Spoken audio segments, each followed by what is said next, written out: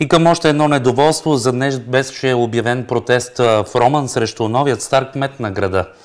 Той обаче беше отменен от общината. Причината Организаторите подали заявлението тази сутрин, а трябвало да се случи поне 48 часа преди събитието. Така хората отложиха недоволството си за този четвъртък от 11 часа.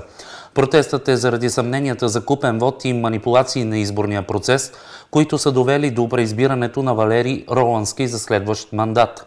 Според недоволните, изборите трябва да бъдат касирани. В момента досъдебно производство има в прокуратура в Лесено в София и няма, абсолютно няма никакъв отзвук. Значи ако Вие така... се съмнявате, че този избор е нечестен? Еми, не, не, не, не се съмняваме, ние знаем, че е нечестен. Значи хората има от списъка, които са си признали, че са взели пари. И самите хора, които са хванати, двамата са си признали, че са взели пари и за кой са купували гласове. Справедливост и искаме класиране на изборите. Това е. Нека да дойде до вечера да ни прибива. Притеснявате се, че и Еми, това... притесняваме се и това, да. Защото не знаеме кой ще ни срещне, откъде какво се случи.